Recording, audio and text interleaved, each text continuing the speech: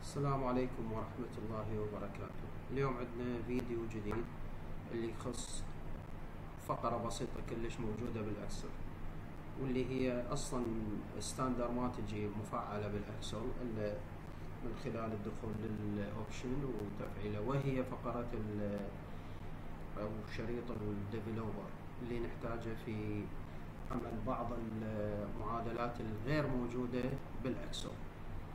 فنفتح ال Excel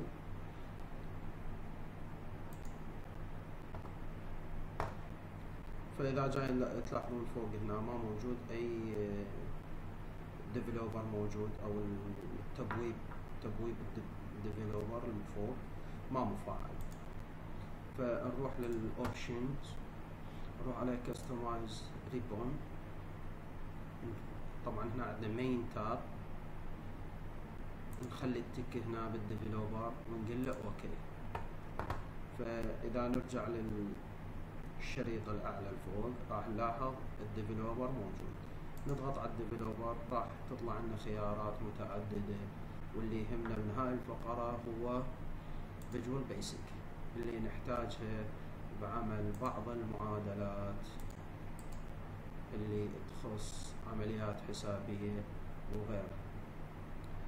فمن خلالها راح نقدر نضيف أي معادلة نكتبها وفي شغل حلو يعني.